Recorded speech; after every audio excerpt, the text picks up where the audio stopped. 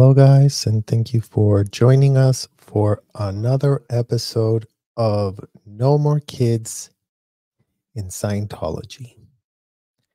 And in this episode, we're going to continue reacting to the interview that John Atack and Mike Rinder had, where they attempted to sanitize and whitewash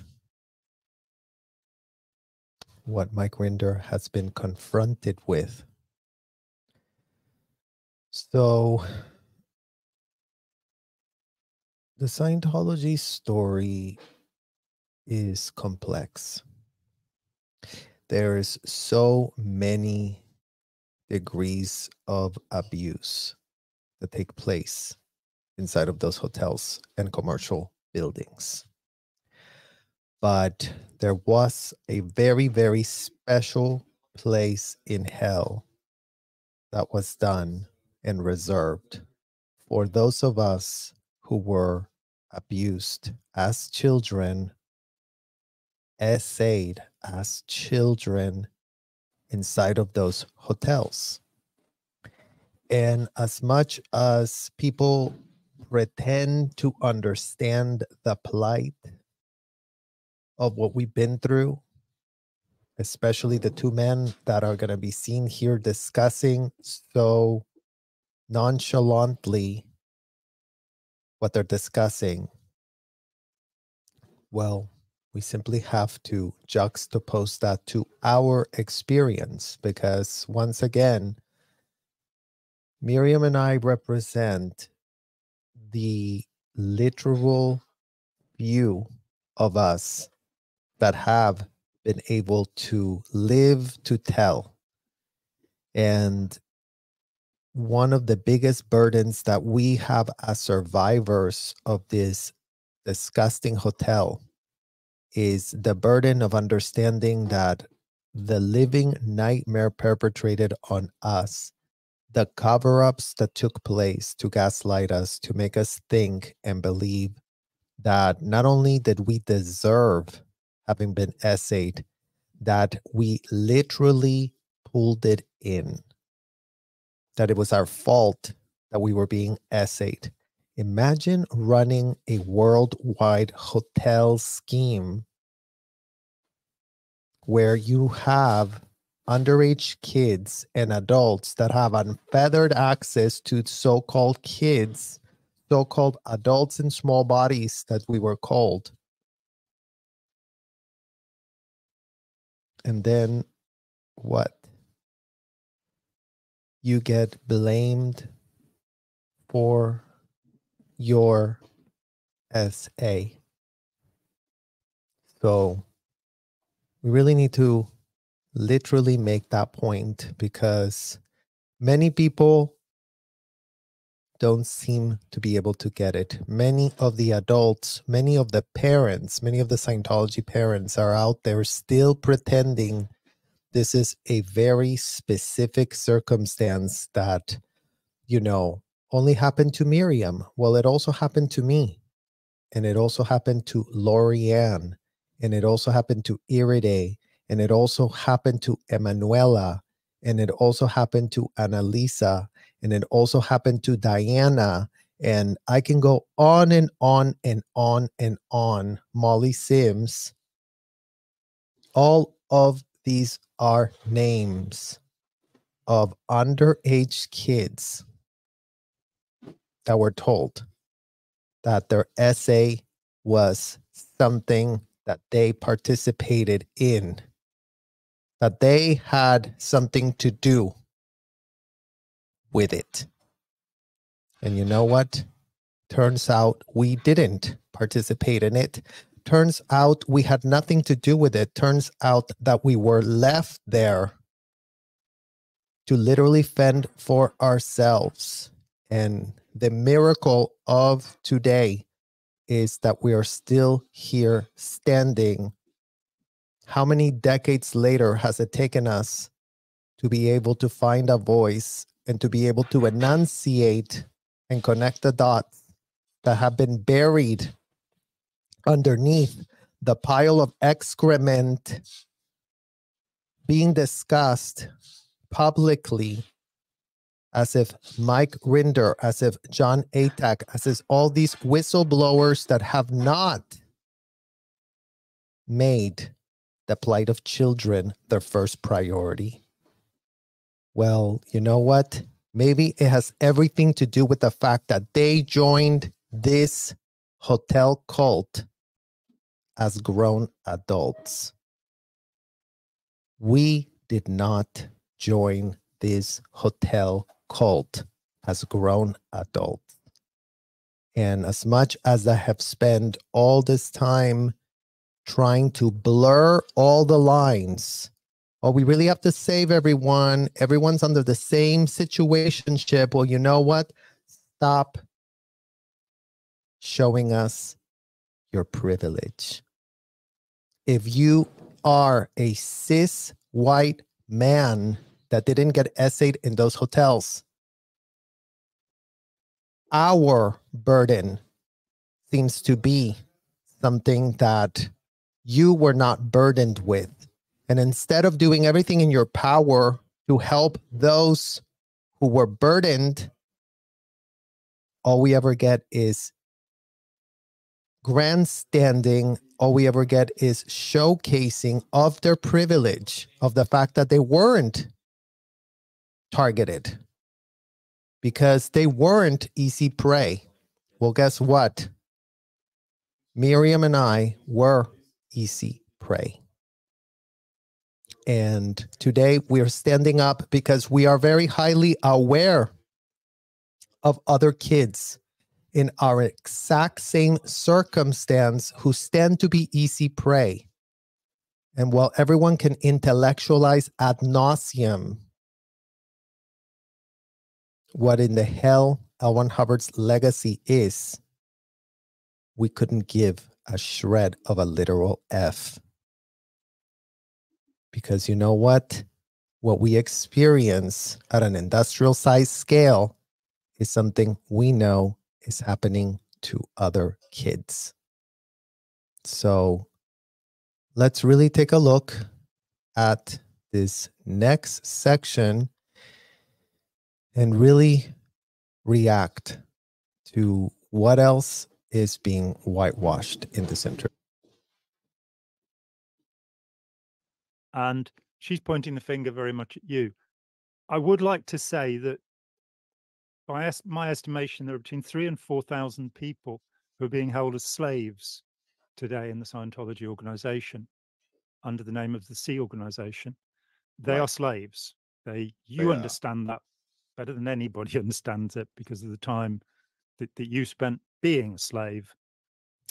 As a consenting adult, as the person that went to the IRS, as a person that went and hired attorneys to turn this into a nonprofit so that yes people could be enslaved. So yes mike rinder you understand very much firsthand this situation because you consented to be a slave.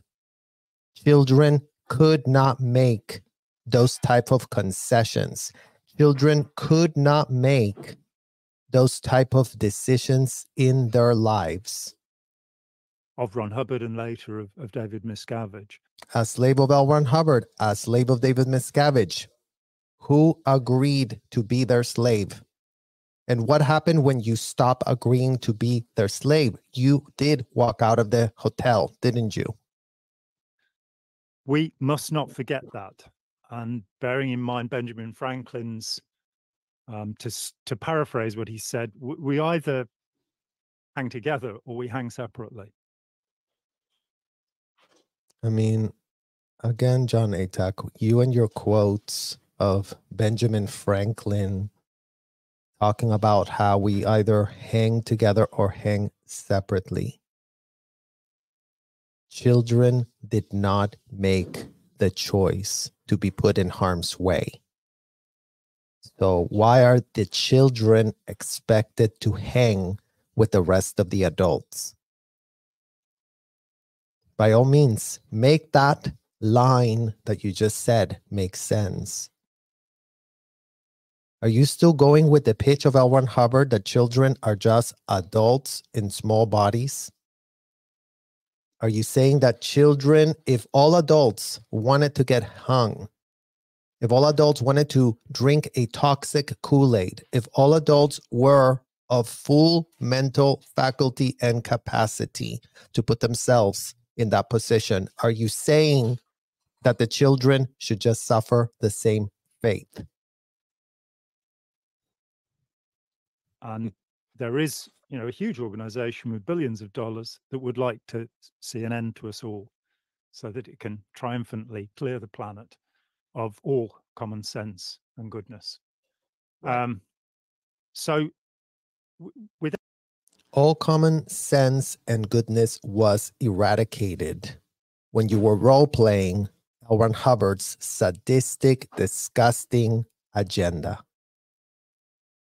So, just to make that clear for you, in case you weren't aware that you were once upon a time, once upon a time, as a consenting grown adult, somebody that was literally going with that pitch.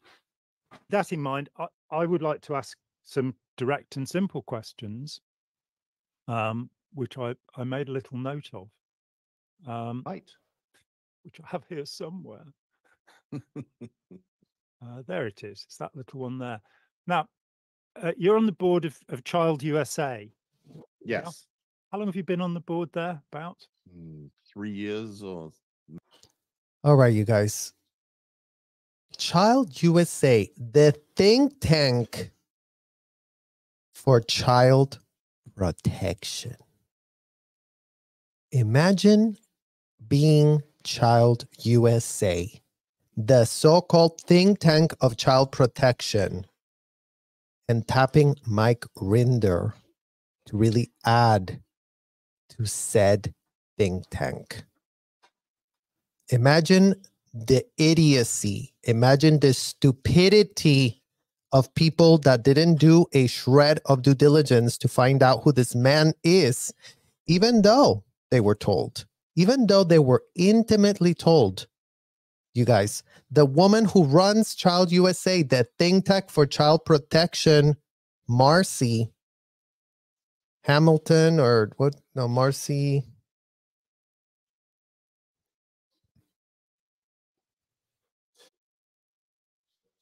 Yeah, Marci Hamilton. She was told she has insight into the inner workings of how this child ridden abuse scheme worked. And yet, this is still the man she went to tap to add to her think tank. maybe four now. Okay. Who Mike Rinder just said he's been on the board of that think tank for four years. So Mike Rinder was on the board of the nonprofit organization, literally was a mastermind of how to make this a nonprofit organization after L. Ron Hubbard was already dead, defunct, and six feet under and Mike Rinder spent countless years resurrecting that man's legacy so that it would become a legal entity, so that he could grab and nab Miriam and her underage kids, so that he could have slave labor, a so called painter, a so called fine artist, and Miriam's mom to go do a project that Mike Rinder propped up the so-called L. Ron Hubbard Museum so they could safe point a convicted felon.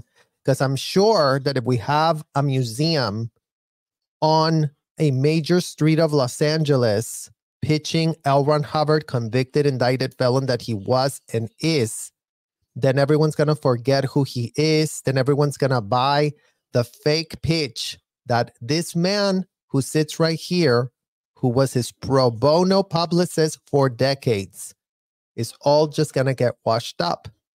Now, great, you guys, so you can just wash up the literal disgusting history of a convicted felon. That's all it took. What's the objective of Child USA?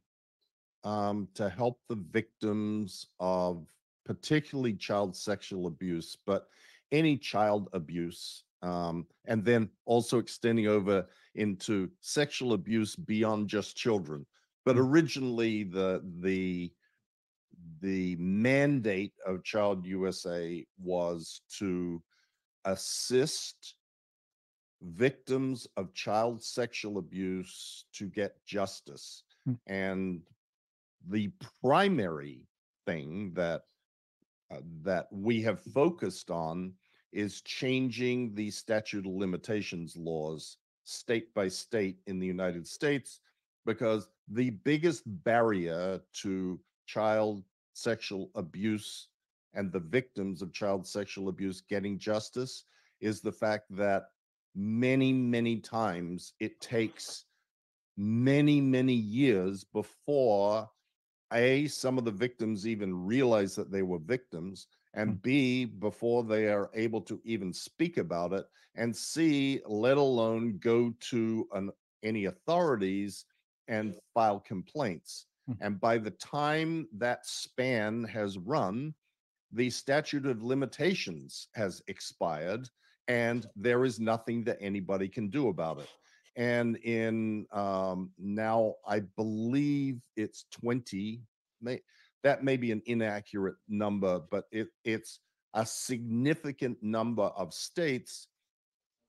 We have managed to get the law changed. Mm. And that has been done through lobbying efforts, through writing expertises, through uh, engaging with political figures, whatever it takes, that is what has been done. And it has been exceedingly successful. We are now moving to change these sort of laws around the world Hmm. so that it's no longer just the United States, but it's all over the world.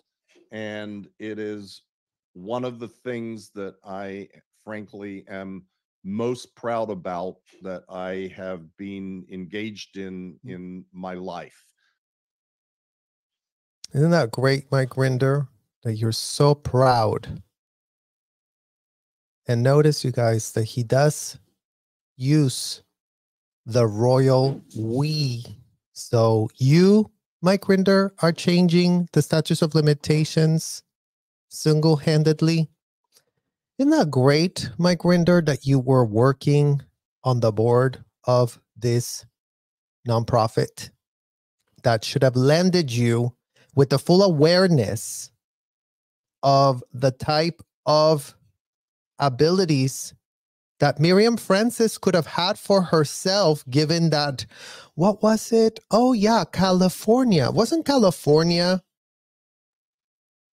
a literal state that had a three year window opened up for victims of child sexual abuse to be able to file lawsuits regardless of their statutes of limitation, Mike Rinder? And weren't you already fully aware, given that you, you, producer of the Aftermath show, used literally Miriam, found out because you've always purported, oh, I had no idea what happened to you. Oh, I had no clue. Imagine you did have a clue now. Imagine we have you on videotape interviewing Miriam. And then imagine that um, you did get those laws extended so that the statutes of limitations wouldn't apply. Well, imagine that as of today, Miriam never filed a civil lawsuit with that window, did she? Did you ever bother as a board member of the most proud thing that you are in your whole life to tell her, Oh, Miriam, guess what? Good news. I know you're literally trying to get a criminal investigation going for yourself, but thanks to me and all the amazing work that I've done, guess what? You now have the opportunity to file a civil lawsuit. Imagine they've already shut her criminal investigation down because they claimed at the DA's office that her statutes of limitation had oops run out.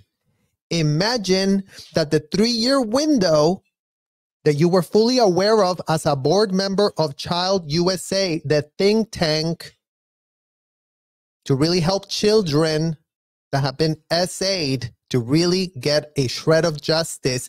Imagine you are nowhere on the record advocating for any of that. Reconcile that, Mike Rinder. Reconcile that quickly. Because are you an advocate? Are you a board member of a nonprofit that is really all about helping victims of child SA and the receipts don't match, is what it's called, Mike Rinder. Even though you say you're so proud of this work. So then why weren't you proudly calling Miriam to make sure she at least got some civil action going while she waited for her criminal investigation, you know, to get tanked? I mean, in addition to doxing her, in addition to all the other disgusting, depraved things you have already done for yourself. So, by all means, you guys go and call up Child USA and ask. Ask y'all's questions. Ask them because I know I have the question why did Miriam never get a civil action going? Why did no one else in the state of California that was essayed has a shred of justice for themselves? We have one lawsuit filed in the literal 11th hour but how many more victims are there, Mike Rinder? And why have you done nothing? That would be great to literally know right about now. So let's have you make that literal point by yourself. Let's see you shoot yourself in the foot, to borrow one of your favorite phrases um, it actually started from the aftermath show. Yeah. Because I was looking for an expert uh, to come on the program to talk about the issue of the separation of church and state, and particularly the First Amendment and the law in the United States. And I got referred to a professor at Penn University uh, Marci Hamilton, who has written several books on the subject. And I reached out to her and had many discussions with her. And she eventually came and agreed to appear on the aftermath. And we talked about the First Amendment. And in doing so, she started talking to Leah and me about Child USA, which is hmm. something I'd never heard of. Hmm. And then she said that because of the work that we had done, she wanted to present us with an award at the annual gala for having exposed the child sexual abuse and abuse in general ongoing in Scientology. Imagine that that you are showing up when you get told that you're going to go get an award. Imagine that this woman Marci Hamilton who I did once upon a time hire as a lawyer, who I did once upon a time shared highly confidential, intimate details of my essay that took place in the hotel where you were a high ranking executive of. Imagine you're being given an award at a gala I mean, again, you guys, like, what do you think was happening in Scientology hotels? Why is it that all these nonprofits are all just about handing out awards without doing a shred of due diligence? Because it'd be great for Marci Hamilton to really start answering that question right about now, Marci Hamilton. Since you do run this, since you are a lawyer, since you were privy to very, very, very confidential, intimate, highly detailed conversations, and you still went, you know who I really need to give an award to? You know who I really need on my board? This man I really need on my board because this man has a amazing track record of really wanting to help children that have been essayed. Imagine that track record includes, but is not limited to, doxing Miriam with his, her full entire police investigation doxed by this man sitting here playing dumb. Because that's, again, the only mode he has he does his horrendous, disgusting things, and then he plays dumb, and then he plays, oh, I'm really going to sound smart right about now. We went and went to the gala and accepted the award, and then Marci asked if uh, we would like to be on the board. Uh, Leah had too many other commitments. I said, of course, and Bob's your uncle. Yeah, yeah. So there you go, guys. It's as easy as one, two, three to get on a think tank board with lawyers intimately connected, intimately connected, intimately aware of what in the hell was being done inside of those hotels. But again, I guess lawyers need to go and get some classes by L. Ron Hubbard on how to pull strings. I guess all lawyers in America need to come and get classes by children that were expected to investigate and pull strings. Because when we were investigating as children, our heads were put on a pike if we missed. Imagine all of these so called professors, law professors, really going to do save another world, do not have apparently the critical thinking skills to see through this bozo, the evil clown that sits there with a smile as he docks the victim, as he didn't tell Miriam that she should be filing a lawsuit so, what in the literal hell are you actually doing, Mike Rinder? By all means, advice. Thank you guys all for watching, and I will see you all extremely soon. Bye bye.